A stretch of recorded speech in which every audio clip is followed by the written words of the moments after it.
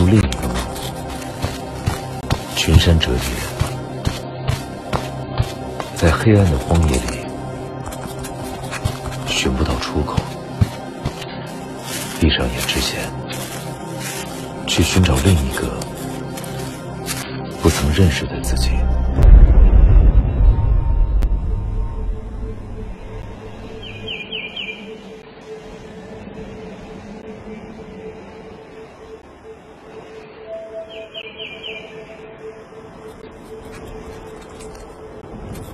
我用钢笔走进光阴的眼睛，把文字埋进大地里，山脉走漏了风声，躲在灌木丛中窃窃私语。至于时间，总是好的。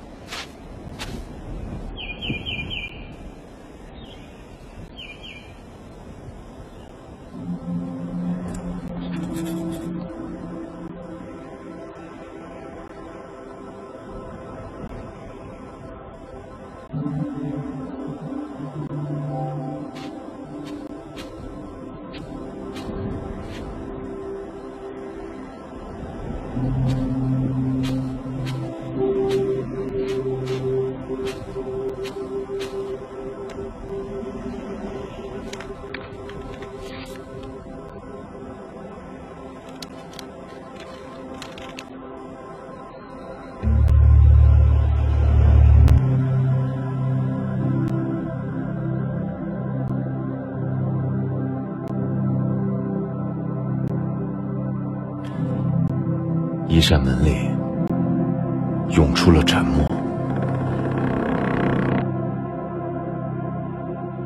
仿佛在说：“那个随时都可以乘风而去，却一直流连忘返的人，停在了念念分明的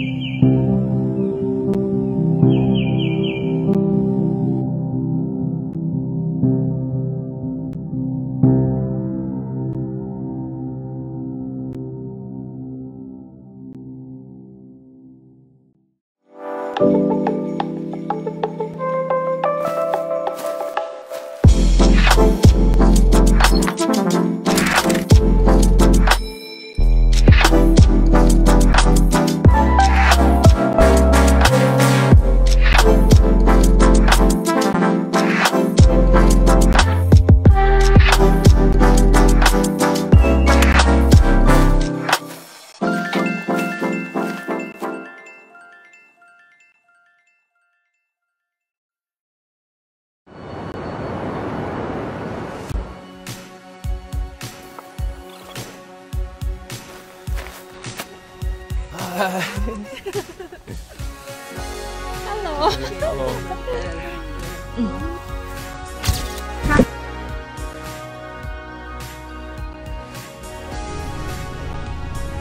好，可以。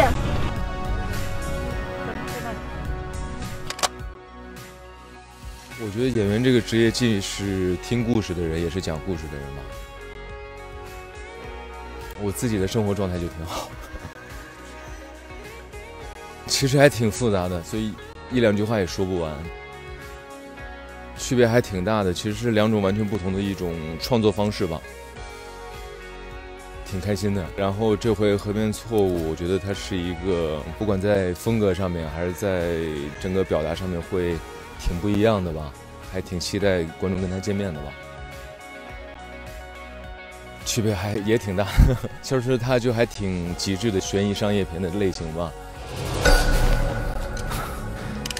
河边的错误可能会更内敛，表达上会不太一样，表现方式也会不太一样。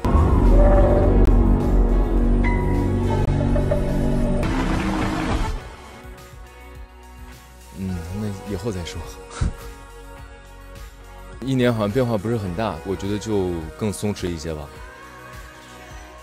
手头上的事情只要去做，我觉得就好了。哪怕就只是用水的时候稍微节约一点，然后随手关灯，我觉得这些行为只要做了，就有很大的帮助吧。去年应该实现了，然后今年愿望好像不能说，说了就不灵了，对吧？不是说愿望说出来之后就不灵了吗？结束。我看我行了。OK 了。好。快点，只有个五了。哎呦，不断的提醒我三十五。好，谢。谢。把这个等会儿就把这个扔掉。然后上面批数字就好了，对？对。OK，谢谢。谢谢。谢谢。哦，谢。谢你。烤全羊。嗨，我们收工了，现在吃烤全羊。结束。